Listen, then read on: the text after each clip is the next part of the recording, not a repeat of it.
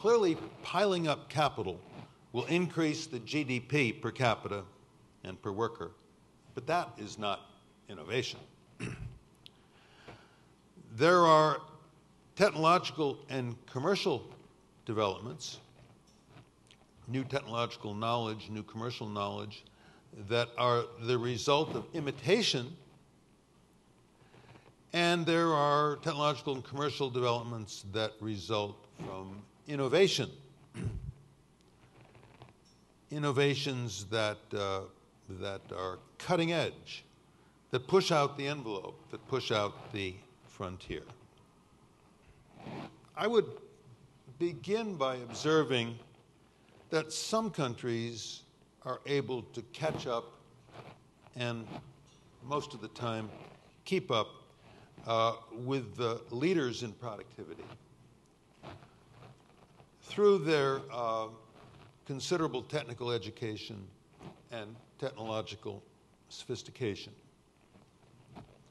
France would be an example, I think, and I think perhaps Germany would be another conspicuous uh, example.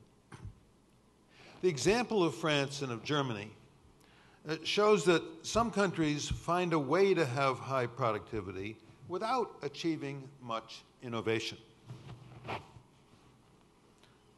I think the French, by their own testimony, don't consider their economies to be uh, deeply uh, innovative. They would point perhaps to some pockets of innovation. France uses its widespread technical education and its broad technological sophistication to copy what proves to be successful in the more experimental, more innovative economies such as Canada and the United States and two or three, two or three others. The other trouble with the neo-Schumpeterian policy uh, and the trouble with France or Germany as a model for much of the world is that the participants in the French economy are quite unhappy, generally speaking, with their experience with the French model. A happy economy is one in which a large uh, proportion of the participants are engaged in their work, engaged in problems that it poses, engaged in looking better for, for better ways of doing the job, and, and, um, and using their own private knowledge to, uh, to, to good advantage uh, in their jobs. There are charismatic and famous venture capitalists, Kleiner Perkins, Draper Fisher Jurvetson, um, Bessemer Ventures, Sequoia might be the largest. And they have funded many dramatic, romantic companies with, with foundation myths that are, are widely told and repeated, like eBay and Amazon. It's also attractive to policymakers because, you know, well, United States is dynamic. United States has venture capital. We'd like to be dynamic. Maybe we'll get some venture capital institutions over here, and uh, we can look at the United States, and that's much easier than fixing things like improving our education, uh, removing the barriers to business, as has been done in Croatia, um, or uh, breaking down trade barriers, or, um, or um, reducing taxes that discourage risk taking. And, um, and um, diligence. First of all, it's small by any standard. If you look, just take, first take the industry, um, uh, National uh, Venture Capital Association for the second quarter of 2008. They'll tell you 7.4 billion was invested by uh, venture capitalists in, um, in entrepreneurial companies in the last quarter. Even if you take that at face value, it's two tenths of a percent of GDP. That also includes small business administration, it includes investment arms of investment banks, and many other things that we might not ordinarily think of as VC.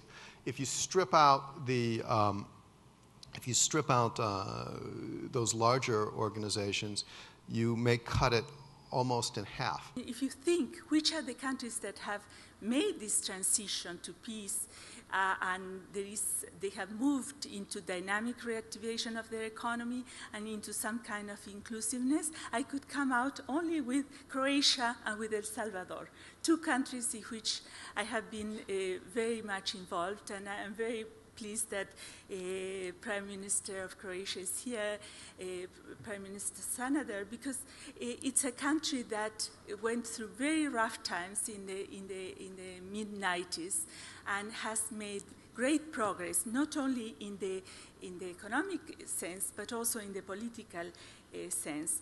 And uh, I, I, had the, the pleasure of, uh, I was invited by the Central Bank of Croatia for many years, beautiful Dubrovnik conference, at the time where they, they were making, they were coming out of war and they were making the transition to peace.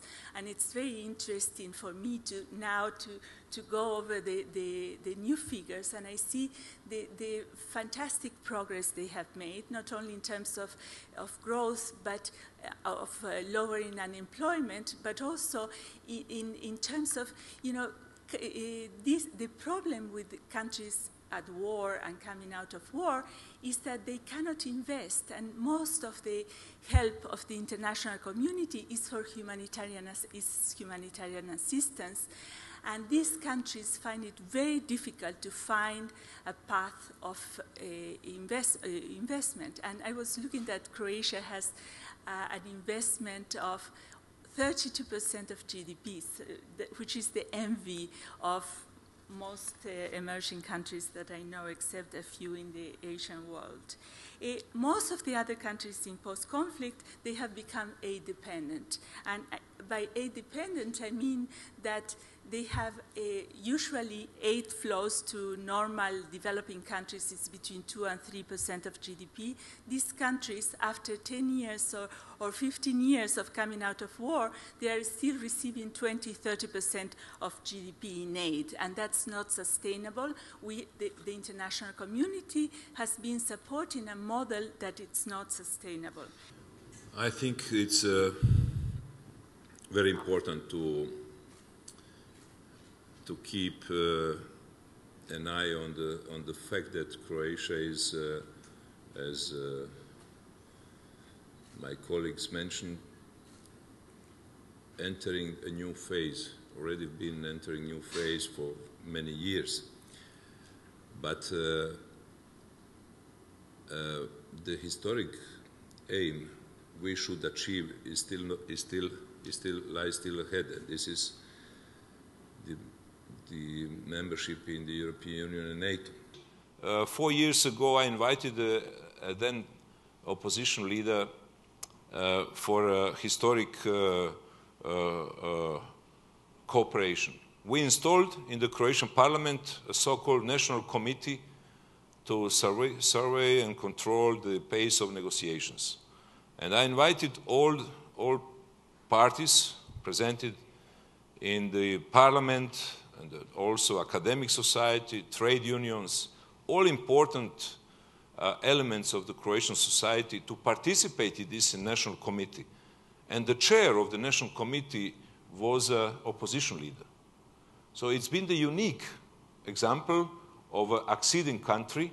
No country of those 12 which uh, joined the European Union has had such experience. So this is something new, and it's already known in the European countries as a Croatian model.